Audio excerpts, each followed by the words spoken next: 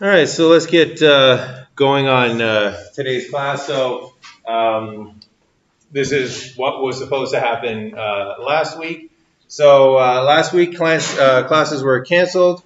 Uh, hopefully you've seen the announcement. Um, I suffered a concussion. Just kind of fill you in on what what happened. So I was cycling in to work, and unfortunately, a turn that I've taken millions of times before just kind of didn't work out this time. So that's sideways going back up to uh, properly oriented. So that's my regular commute to work. I have done that turn so many times I can't even you know begin to tell you. Um, it uh, I've not uh, previously didn't even have so much as a wobble, and this time just totally uh, wiped out. So uh, smashed my uh, head on uh, what I imagine to be the side of the curb. So that's uh, the damage uh, that occurred. There's a little close up of it. that's gone, thankfully, cosmetically. Um, my eye's still a little bit black, but I did suffer a concussion. So the rest of the week was taken off from that concussion. And one of the weird things when you have a concussion, I don't know, hopefully not too many of you have had this experience, but I cannot remember anything about the accident. So I, I did not know when I showed up to work that I had gotten into an accident. I did not know that I had fallen down. I knew that I felt weird, but I did not know that I had fallen down. Um, I don't remember falling down. I do not remember how I got to the university. So from that corner, to the university is about five more minutes of cycling. I do not remember traversing that at all. My first memory is looking at my watch in my office and making the decision that I was going to be late for class if I changed into my work clothes. So I went to class in my cycling clothes. And uh, that was the earliest memory um, that I had. Um, I had my cell phone running and recording when I rode in uh, to class that day. So that's the only reason that I have any sort of evidence of um, what happened. So it's almost like watching yourself in a found footage horror film, you know, where you don't know what happened, but you're, you're piecing together all these uh, uh, all these clues. And uh, just kind of, I don't know if I'll ever see this person again, but somebody with hair like that was nice enough to actually stop and, and help me. So I don't have their face on the video, but they they stopped. You know, I could hear the audio. Are you okay? Are you all right? Uh, they must have helped me up. They reattached my cell phone to my uh, to my bike. So I just want to throw this out to the universe. Whoever has that hair, thank you very much for for being uh, you know for helping me out that day for stopping. They didn't have to. I mean, you always hear a lot of times in psychology, you'll learn about the bystander effect where people don't stop to help. So it's nice to uh, at least acknowledge in spirit somebody who actually did take time out of their day to help somebody that wiped out and uh, suffered a concussion. So I ended up going to the ER. Uh, they did a CT scan. There was no fracture. There was no bleeding in my brain, but I did have a concussion. And I did not know this, but one of the things that happens after a concussion is you have to undergo what's known as brain rest. So for a minimum of 48 hours, and I pushed it a little bit longer, uh, you have to rest your brain, which means uh, no sports. So you know you don't want to get injured again. But no schoolwork, uh, no computers, no screens, no TV. So you literally try to shut off your brain as much as possible. So I broke these rules a couple of times just to let the chair of the department know that I was all right and to let uh, everybody else here know that classes were going to be canceled. But um, yeah, if you didn't receive an email from me until yesterday, uh, I was under doctor's brain rest orders. And then uh, one last thing I'm going to mention. This is a little bit of my um, PSA. Uh, so these were some of the injuries uh, that I sustained, and uh, it would have been a lot worse if I was not wearing my helmet. So uh, I have read so many articles where people are like, "I'm not going to wear a helmet when I'm cycling. I'm not going to wear a helmet because if you get hit by an SUV, a helmet's not going to make any difference." And it's true. I'll paraphrase Jerry Seinfeld. If you ever get hit by an SUV, your bicycle helmet is now wearing you for protection, right? But I did not get hit by an SUV. I took a turn that I have taken hundreds of times before, and I slipped out. And luckily, I was wearing my helmet, so my head looked like this, and you can see the cracks in the helmet where it landed on the sidewalk and took the brunt of the injury. So the only reason that I'm standing here today and I can teach after a week of you know recovery is because of this is going to go into my Hall of Fame because of my helmet that saved my head. So if you're a cyclist out there, or if you know cyclists that don't wear helmets, uh, you know take care of yourself. Let them know this is literally you are here developing this. All right, this is literally your moneymaker. So protect it. And like I said, you know I've taken that turn a hundred times. I am a very experienced cyclist. I've commuted by bike for you know years and years and years now. Never once in my entire life have I fallen, but thankfully I wear a helmet every single time so that my helmet is cracked, uh, but my skull is not. All right, but back to business as usual. So uh, to kind of make up for the week that uh, that we missed, uh, double check the syllabus. I, upload, I uploaded a post concussion medical leave syllabus that has new due dates. All right, so new due dates, new times for quizzes, new times for exams. So make sure that at some point in the near future, log on to Canvas, check out that new syllabus, and check out the new uh, the new due dates. And then um, also uh, to make up for the week that we missed, much like when we missed uh, a class because I was away at a conference earlier on, we're going to have two special online classes distributed throughout the remainder of the semester. So double check the syllabus for when those online classes are. I'm going to post them on a Friday. So you'll have the Friday, the Saturday, the Sunday, the Monday uh, to hopefully watch them before class next next time. We're only going to have two of those to get us caught up for the rest of the semester. So also check the syllabus for when those will be uh, available. So one of the first um, things that uh, is going to be affected is there was a Sniffy assignment that was due. It was the final Sniffy assignment, the uh, partial reinforcement, the effective uh, extinction on partial reinforcement. So that due date has been moved. So if you haven't done that one yet, make sure that you check the syllabus, get that in uh, on time. And we'll have something to say about that when we uh, continue with today's class. All right, so what we're going to do today, the new stuff we're going to do today, is we're going to take a look at extinction and stimulus control. Specifically, we're going to take a look at a very bizarre effect known as the peak shift effect, which can help us to explain uh, some extreme forms of behavior. So oftentimes, people engage in behavior that seems to be a little bit out there and difficult to explain why anybody would ever want that, especially when you're doing behavior that you have never been reinforced previously for doing, the peak shift effect can help us explain why people would even desire to engage in those types of behaviors. And then we're going to take a look at punishment and take a look at the different types of punishment and uh, the side effects of punishment. So punishment has its pros, has its cons in terms of uh, changing uh, an individual's behavior. So we'll take a look at the types and the pros and cons uh, that you need to be aware of before you implement a punishment contingency. But before we get to that new stuff, we do have a little bit of a wrap up for the Harry video still uh, remaining. So if you recall, Harry was a self-injurious individual that Dr. Fox treated using a variety of different techniques. We analyzed some of those techniques. They were um, things that we've learned throughout the semester. Today we're going to finish off with some of the more recent ones that we've learned through the semester, starting with the response deprivation hypothesis. So uh, if you recall, in the uh, treatment of Harry, they removed Harry's restraints. And Harry had to complete a task in order to earn those restraints back. So if Harry completed a task, he would receive his restraints, and that was a positive consequence. So Harry finished the task. The task was the uh, operant um, behavior. Once he finished that task, he would be presented with something. He would be presented with his restraints and his probability of doing that task in the future went up. So the restraints were reinforcing, they were positive reinforcers.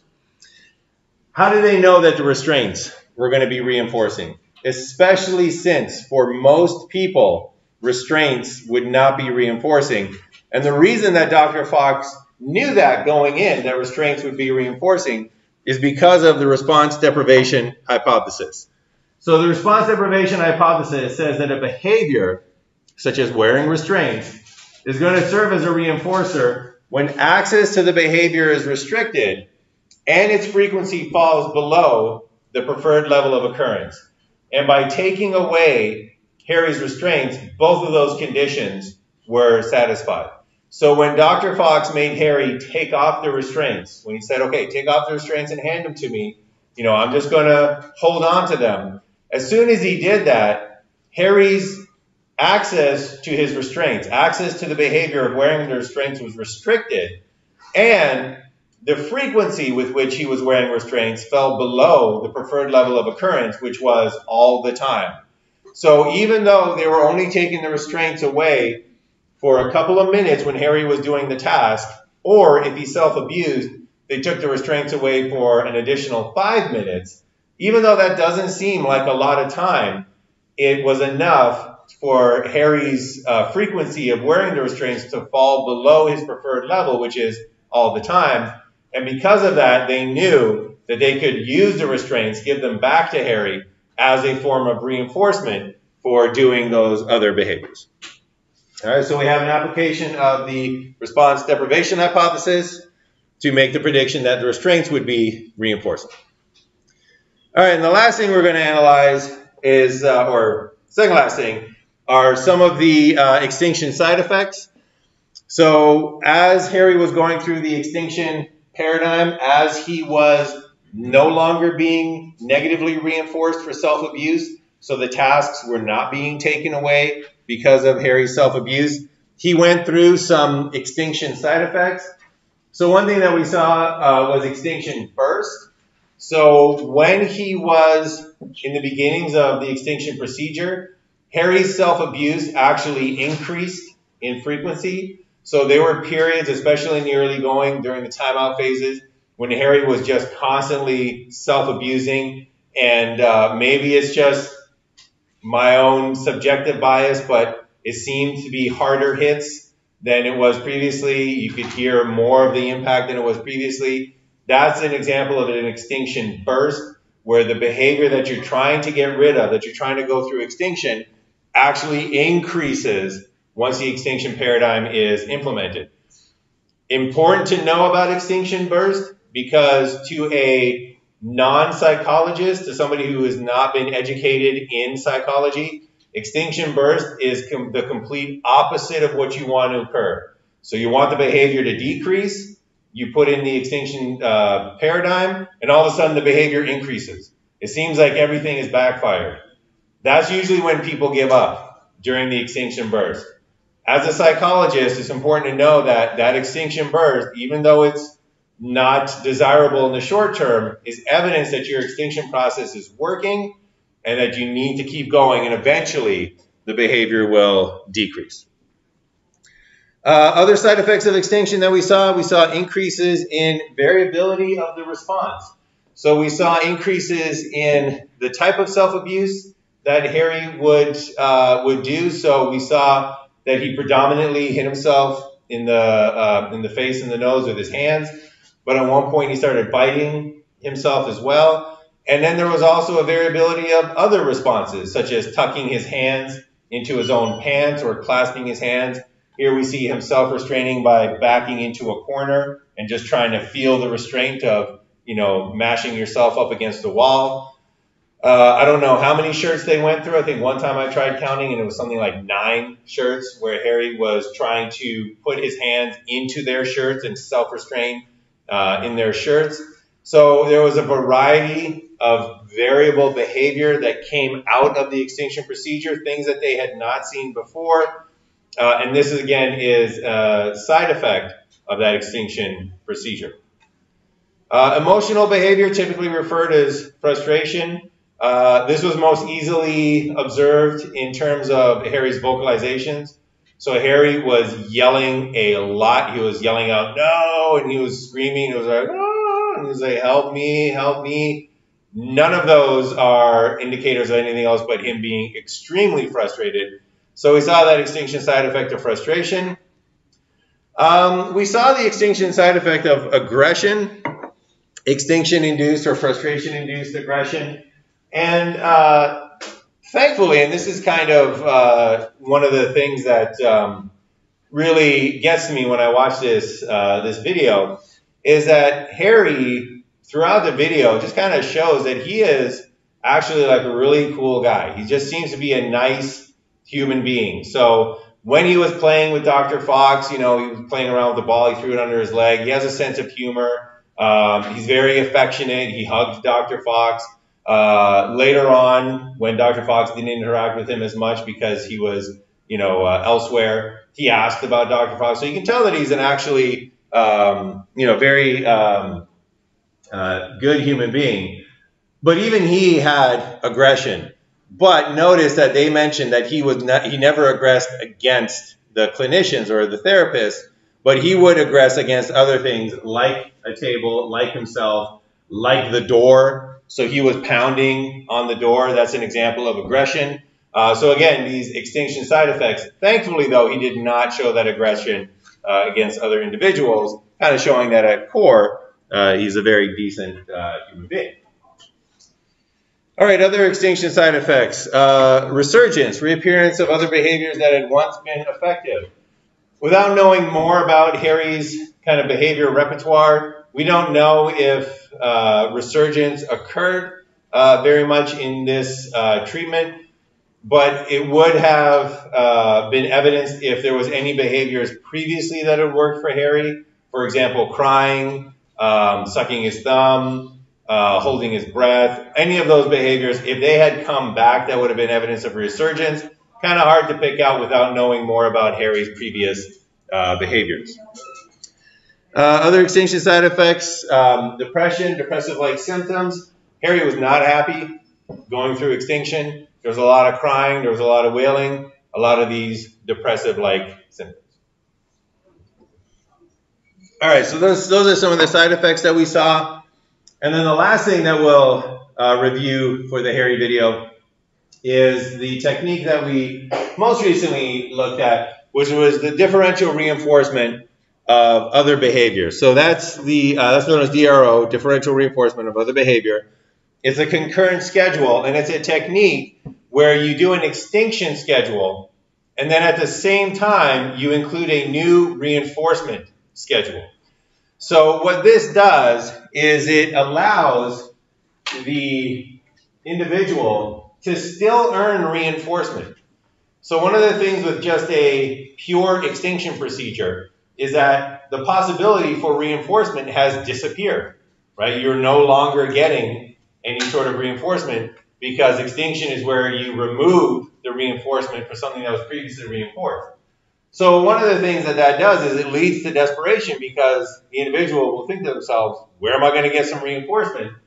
So the differential reinforcement of other behavior, you choose a behavior that's appropriate and you reinforce that behavior instead. So it's a concurrent schedule done at the same time and they have, uh, and that's the differential reinforcement of other behavior.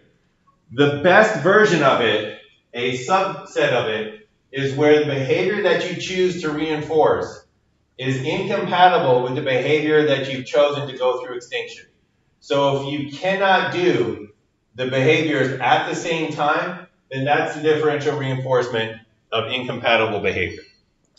So throughout the video, we saw this technique used. So this was used from the get-go. As soon as the extinction procedure was put into place, differential reinforcement of other behavior was also put into place. So the first example of the differential reinforcement of other behavior was the counting task. So they literally said, you're an extinction uh, paradigm right now or an extinction procedure. You will no longer be reinforced with the removal of a task for self-abuse.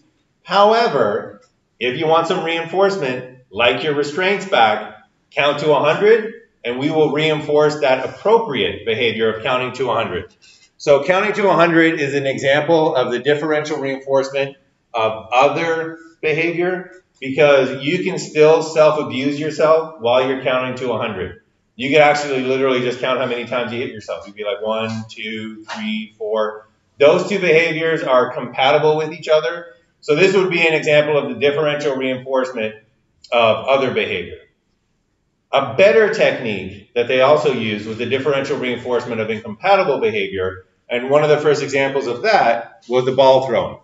So you cannot throw or catch a ball with your hands while you're still using your hands to self abuse. And if you remember, they told Harry, if you drop the ball, we're leaving. We're going to leave with your restraints. So catching a ball, throwing a ball, that requires your hands. That is incompatible with self abuse. And as you watch the video, it's an interesting how often Dr. Fox uses, uh, has Harry do tasks, especially tasks that he could do himself, but he, he picks them specifically because they involve Harry using his hands. So when they were doing the uh, work with the uh, with the educational books, he had Harry bring in a table. There was no other reason for him to have Harry bring in a table other for him to be able to reinforce Harry for this behavior, bringing in the table, saying, Good job, Harry, nicely done, Harry. And at the same time, Harry's using his hands. You cannot self abuse if you're carrying a table. And we saw this example over and over and over again. So, um, Dr. Fox, you know, gave Harry Coke and pretzels. And when Harry was like, you know, I, you know, I want a Coke, and he goes, you think you deserve a Coke? And he's like, yeah. And he goes, all right, pour yourself a Coke. Dr. Fox is completely capable of pouring a Coke for Harry, but he wanted to give Harry a behavior to do with his hands. He wanted Harry to have an incompatible behavior to do with his hands so he can reinforce it. So he had Harry pour his own Coke. He then asked Harry, can you pour me a little bit of Coke? He then had Harry do the cheers where, you know, you touch cups and then we drink. That's how you do it. All of these things were chosen because they involved Harry using his hands. So once again, pointing, you know, to different, uh, to the different animals. When Dr. Fox asked Harry, what are these animals? And Harry's like, pig, you know, uh, rooster, duck. Dr. Fox said, no, point to them. You know, use your hands because you cannot point and self-abuse at the same time differential reinforcement of incompatible behavior. All right, so that ends our analysis of Harry. Any final questions? I know it's been a while, but uh, any questions or comments on Harry and his treatment and how he uses the techniques that we've learned in this class? All righty. Okay, so what we're going to do now, we're going to go to the new stuff. We're going to introduce uh, the peak shift effect which is an effect that comes out of extinction and uh, stimulus control. And then, uh, if we got time, we're going to take a look at uh, punishment, the different types of punishment, and side effects uh, to be aware of when you do a punishment paradigm. All right, so back to Felix Baumgartner. So, uh, in case you might have forgotten, Felix Baumgartner was the uh, first individual ever to skydive from outer space and when you break this down, this is an incredibly bizarre behavior for anybody to do, specifically for anybody to want to do. So Felix Baumgartner skydove from outer space, free falls to Earth, breaks the sound barrier because he was going so fast, and then successfully lands on Earth and was ecstatic about having skydived from uh, space. So that joy right there is more straightforward to explain from a psychological perspective because he just did this behavior. He was just reinforced with success, right? So he made it down in one piece. He comes to the realization that he set the record. He's the first person in the history of the world to have done this. That's the joy from having being reinforced for doing a particular behavior. Today, though, we're going to answer the question of why did he ever want to do this in the first place? So before he had ever jumped out of, a, uh, out of that space pod in orbit, he thought this was a good idea. He thought this was something that he wanted to do. And he did a lot of behaviors to make it happen. He had to find sponsors. He had to find a crew to put together to figure all this stuff out. They had to build a pod. They had to put up in space. He had to go up there. There was tons of behaviors that had to be done before he could skydive from out of space. So why did he ever even want to do this, especially since he had never had a positive experience or any experience skydiving from outer space. So we're going to see how the peak shift effect can explain this bizarre behavior of wanting to skydive from outer space. And uh, for those of us who haven't sky uh, or don't skydive from outer space, we'll also apply it to a uh, more um, kind of uh, everyday example.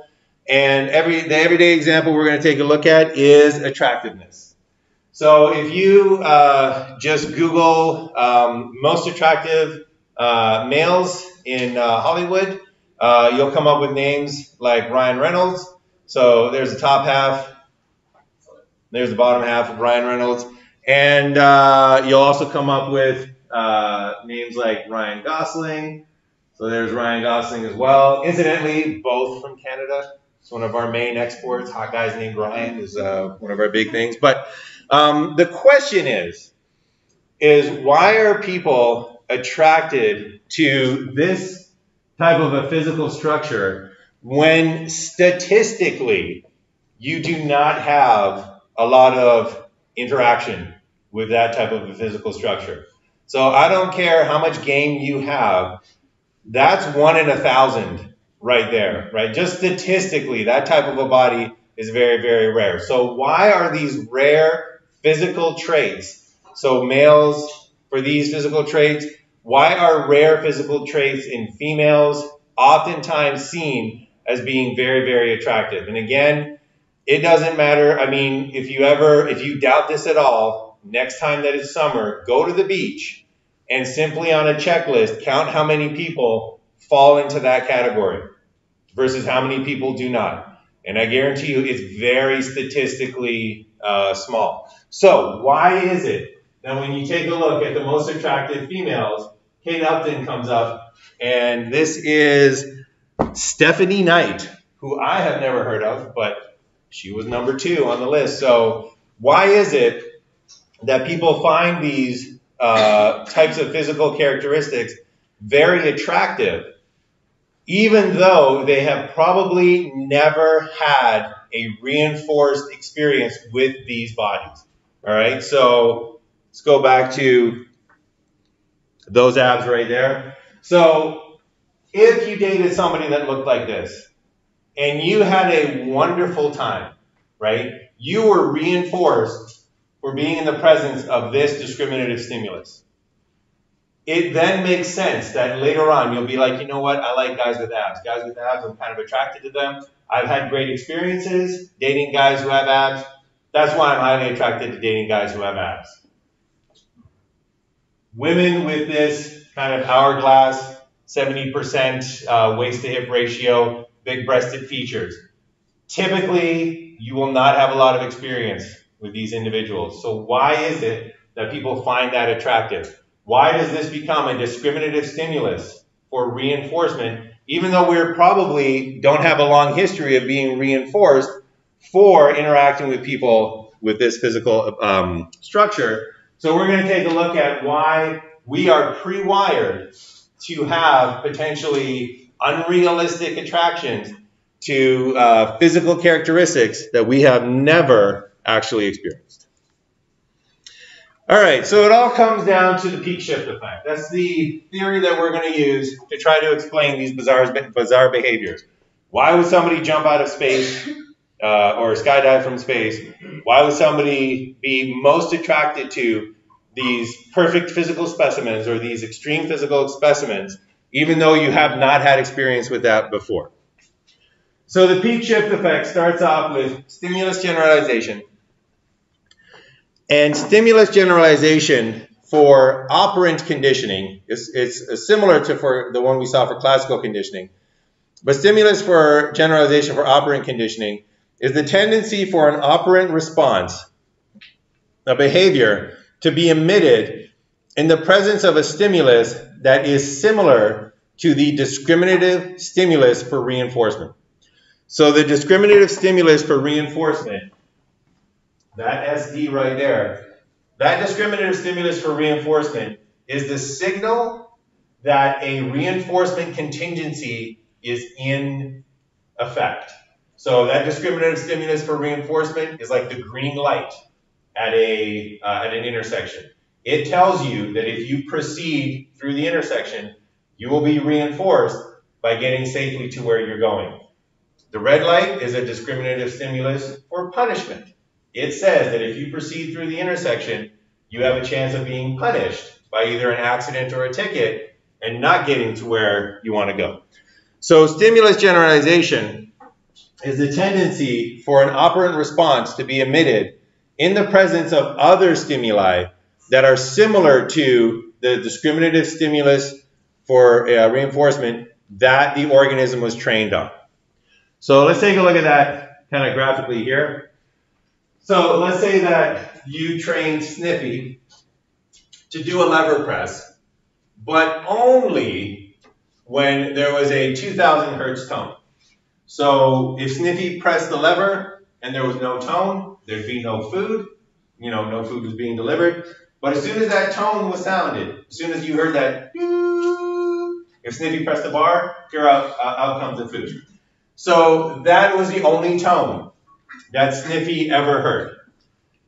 If you then tested Sniffy on a variety of different tones, some higher than the ones that he was trained with, some lower than the ones that he was trained with, you would find that the number of responses or the intensity of the response is going to be highest to the tone that he was trained on. Right? So it would be highest to that 2000 hertz tone which was the tone that he was reinforced for pressing the bar while that tone was being played. However, other tones that are similar to that tone that he was trained with, they will also elicit this response. So if he was reinforced for the tone, if you play a tone, Sniffy will also start pressing that button. So that higher tone will emit or uh, will elicit a, uh, a, a, response. Sniffy will start to press the bar, not as much as he does to the tone that he trained with, but still, uh, you know, to a to a um, lesser amount. And the more different the tone becomes, the lower and lower the rate of response goes. So the more different the tone is in either direction, the less and less Sniffy will respond or press the bar to that tone. So if you have a very low tone, Sniffy might still press the bar, but he's not really going to press the bar very much. All right, so that's stimulus generalization. The operant behavior doesn't change. Sniffy is still pressing the bar, but the frequency or the intensity or the amount that he presses the bar changes and importantly, Sniffy will still press the bar to a sound that he has never heard. So he'll press the bar most to the sound that he was trained with, the discriminative stimulus for reinforcement, but other sounds that are similar will also lead to Sniffy pressing the bar. All right, so that's stimulus generalization. Any questions on that? All right, so we start with stimulus generalization.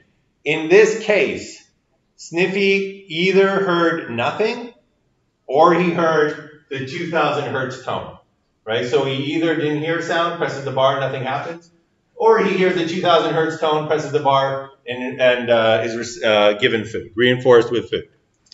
So what then happens to this gradient here when we start discrimination training? So let's say that after Sniffy has learned this uh, response, you press the bar when the 2000 hertz tone is being played and you'll get reinforced. What happens if we then introduce another stimulus, another tone that is played where Sniffy is not reinforced for pressing the bar during that tone? That's called discrimination training. So in discrimination training, we press a 2000 hertz tone that is a discriminative stimulus for reinforcement. If Sniffy presses the lever, Sniffy receives food. In discrimination training, we would also, at random times, play a 1200 hertz tone, so a much lower tone. And when that tone is present, if Sniffy presses the bar, Sniffy gets no food. So this is discrimination training. If Sniffy can tell the difference between those two tones, what will happen is Sniffy will press the bar most for the 2000 hertz tone, but will recognize that he's not getting reinforced for the 1200 hertz tone and will stop bar pressing. So we went through discrimination training when we got our driver's licenses because we can tell the difference between a red light and a green light. So we have different reinforcements or different punishments based on uh, that uh, stimulus, that discriminative stimulus. All right, so this was a generalization gradient prior to discrimination training. What then happens to this gradient when you introduce the training on the 1200 hertz tone, and now when you play the 1200 hertz tone, Sniffy is not reinforced for the bar press. So still reinforced for the 2000 hertz tone, but now the new thing is he is not reinforced for the 1200 hertz tone. Well, what happens is the bar change, the graph changes, the gradient changes. He stops responding on the 1200 hertz tone, and we get a change in the gradient. So the 1200 hertz tone, where he is not being reinforced, went through an extinction procedure. Sniffy no longer presses the bar for the 1200 hertz tone. But notice, very interestingly, that the highest rate of response now does not occur to the discriminative stimulus for reinforcement that Sniffy was trained with. It actually occurs for a new stimulus that Sniffy was never trained on. Now the 2200 hertz tone is the highest tone. The peak of the uh, discrimination gradient or the uh, generalization gradient has shifted, hence the peak shift effect. So, importantly, Sniffy has never heard the 2200 hertz tone. He was only trained on the 2000 hertz tone, where he received reinforcement for pressing the bar.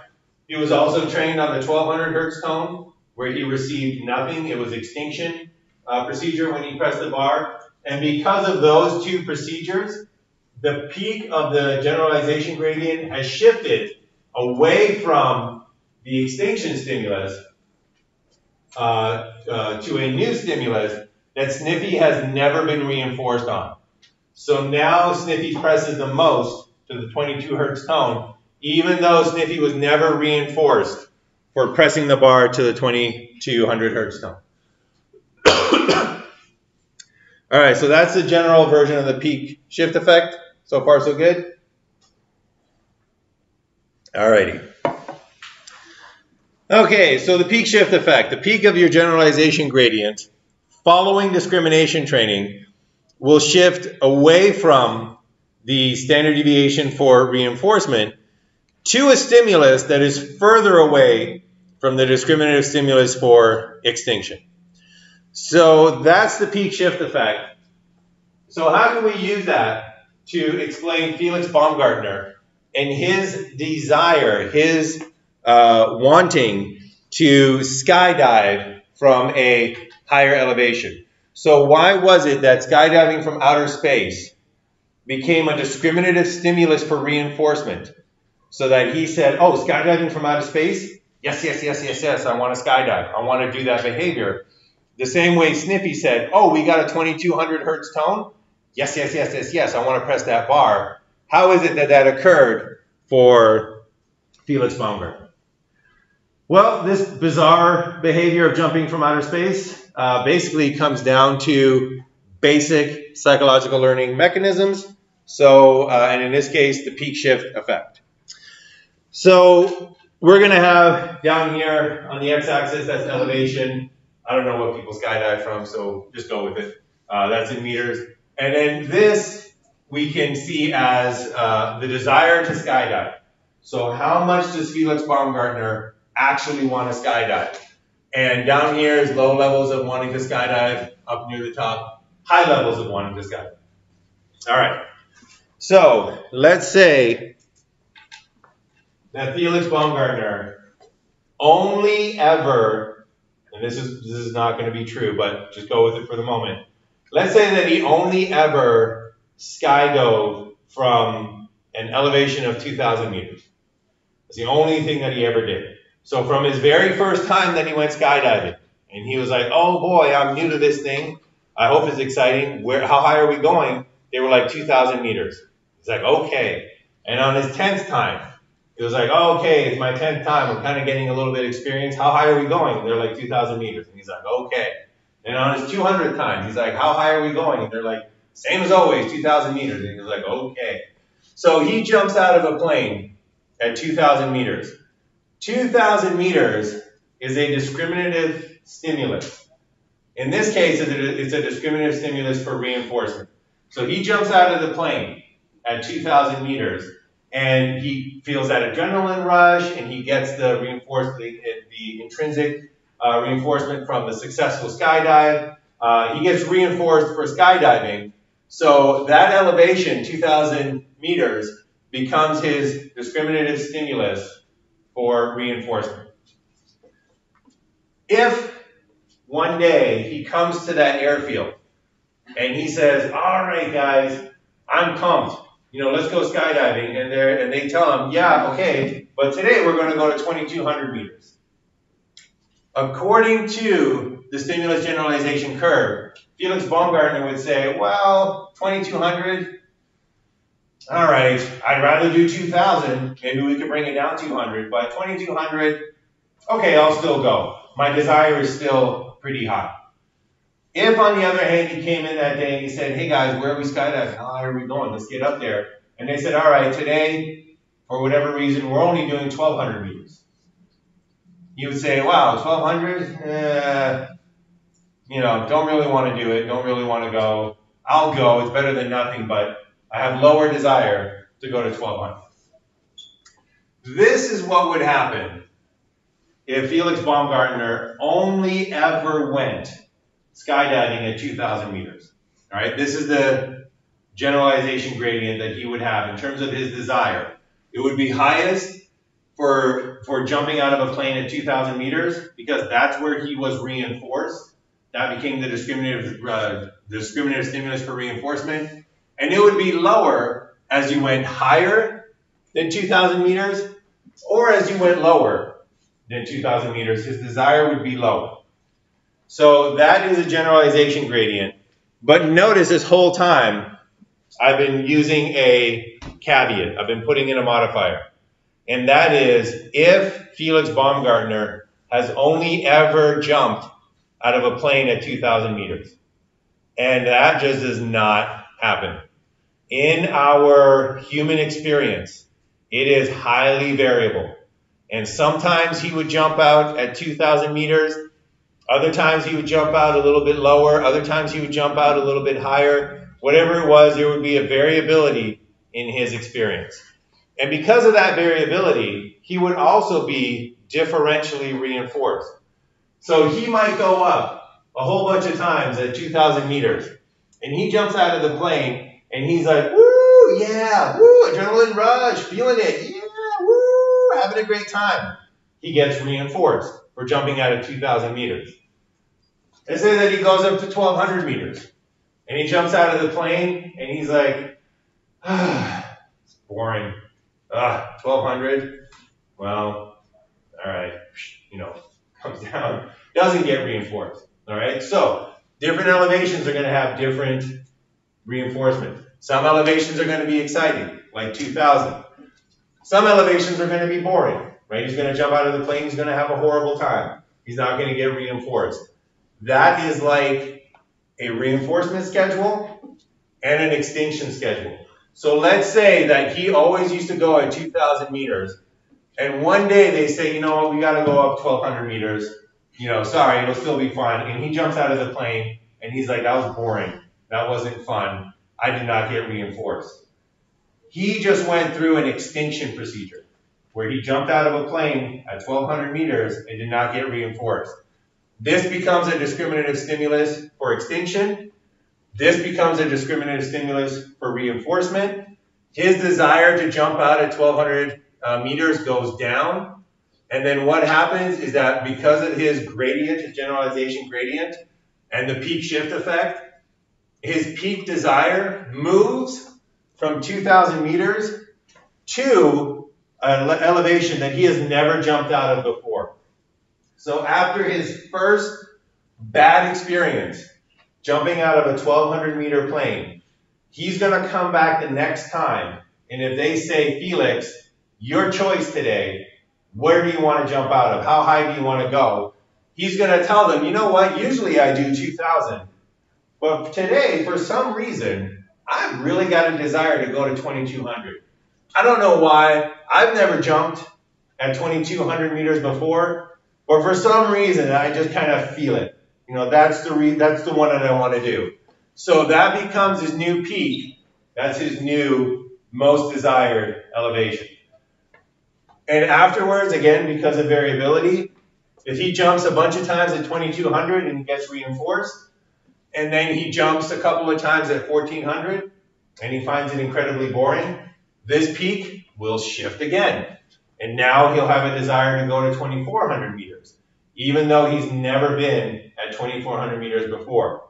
So through discrimination training for being reinforced and turning these elevations into discriminative stimuli for reinforcement and being going through extinction and turning these elevations into discriminative stimuli for extinction, slowly but surely, 2400 seems like a great idea, 2600 seems like a great idea, 2800 seems like a great idea, and after a few years, outer space seems like a great idea, even though he had never jumped from outer space before.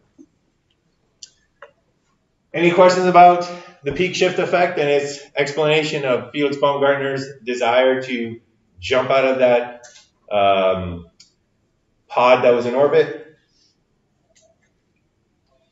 All right, so let's bring it back down to Earth, back down to physical attractiveness. So again, why in polls of the most attractive people in the world, why in our own kind of attracted uh, or our own um, characteristics for what we find attractive, why is it often that we will uh, uh, find things that are attractive that we have not had much experience with? So physical bodies that have six-pack abs are not very common. Physical bodies with the dimensions of Kate Upton are not very common. And what that means is that you will not have been reinforced for dating people with those particular bodies. So why is it that people have a desire, have an attraction to, and, and listen to the English that was chosen for that, we have an attraction to these people. We literally want to do the behavior where we are close to them. Why is it that we have that desire, even if we have never experienced people with these particular physical dimensions? Well, once again, it goes to the peak shift effect and discrimination training. So on the x-axis here, we have hotness. So I've kept this general because different people have different things that they find attractive. So some people like tall people, some people don't. Some people like athletic people, some people don't. Some people like very intelligent people, some people don't, right? Uh, so whatever it is that you consider to be attractiveness, on this end, we have more of that characteristic. On this end, we have less of that characteristic. So let's say that when you started dating, and once again, this is going to be a little bit contrived, but just to simplify the situation. Let's say that you, when you were dating, you only dated people at level 2000, right? At level 2000 of hotness. So to make this a little bit more straightforward, let's say that this was height, right? These are very, very short people. These are very, very tall people. These are people kind of like in the you know in the middle in on, on uh, an average height. So if you only ever dated people that were five eight, and you went out and you had a great time, and you went out and you had a great time, and your friends were like, "Oh, we're gonna set you up with this person. They're five eight, and you went out and you had a great time." And you went to the bar and you met a person and they were five eight, and you went out and you had a great time. If every person that you've ever gone on a date with was five foot eight, five foot eight would be your discriminative stimulus for reinforcement. Let's say that you had a great time every single time that you went out on that date. So if you interact with a five foot eight person, that behavior of interaction leads to reinforcement, leads to a good time, a good meal, good conversation, pleasant experience. That five foot eight height becomes a discriminative stimulus for reinforcement. So if you were looking at a group of people and somebody said, Who's the hottest person in this group? Who do you find the most attractive? you would say, well, that five foot eight person over there, kind of doing it for me. That five foot eight person, I don't know, something about them. You wouldn't talk like that, but you would pick the five foot eight person because that's the one that you are most attracted to. That is the one that you would do that approach behavior to. Somebody that's 5'10, not so much, right? So you'd be like, well, I don't know, just something about them, not not quite as attracted. You know, I'd much rather that, you know, five foot eight person over there. Somebody four foot ten, not as much, right? So again, this is physical attractiveness that leads to approach behaviors. And this would be if you only ever dated somebody who was five foot eight and you were reinforced every single time, that became your discriminative stimulus for reinforcement. However, as we know, unless you are incredibly shallow, I'm just going to say it, unless you are incredibly shallow, I mean, can you imagine somebody saying, well, you know, what's the perfect person for you? And they're like, well, five foot eight. That's my perfect person. And they're like, really? Like a five foot nine person you wouldn't date? It's like, no, don't date five nine. Five seven, don't date five seven. Date five eight. You exactly about as shallow as you can be. So let's say that that, that typically doesn't occur. And what happens is people date a variety of heights. People date a variety of whatever you think is is hot. So a variety of heights, a variety of builds, uh, a variety of physical characteristics. What's going to happen uh, inevitably is on some of those dates, you're going to have good experiences. You're going to be reinforced. So that approach behavior of spending time with that individual is going to be reinforced with a really nice time. On other dates, you are not going to have such a great time. Everybody's gone out on bad dates. That is an extinction procedure, right? You've gone out on that date, you were not reinforced. So let's say that you have gone out with nothing but people who are five foot eight. And the one time your friend says, "Well, I got somebody for you, and they're four foot ten," just give them a shot. You know, give give them a give them a try. And you're like, "All right, fine. I don't have that much desire for the approach behavior, but all right, we'll do it." And they take you to the amusement park, and you can't go on any of the rides together because you know they don't they don't quite make it, uh, and you just have a horrible time. You just have the most boring horrible time, what, you know, ever, that discriminative stimulus will become a discriminative stimulus for extinction. And what's going to happen is that your desire to go out with anybody who's four foot ten is going to drop to zero. So the next time your friend says, all right, I know the previous one didn't work out. I got somebody else for you, four foot ten. Do you have any desire to go out with them? You will say, no, I have no approach behavior left. Four foot ten is my discriminative stimulus for extinction. But look what happened. All of a sudden, five foot eight is no longer the best discriminative stimulus for reinforcement. Now you got an attraction to somebody who's five foot ten. So now all of a sudden you're like, you know what? I've never given people who are five foot ten a chance.